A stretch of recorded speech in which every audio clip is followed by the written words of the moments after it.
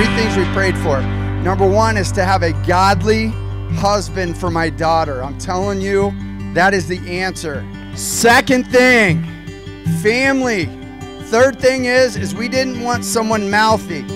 Guys, raise a salute because two out of three is not bad.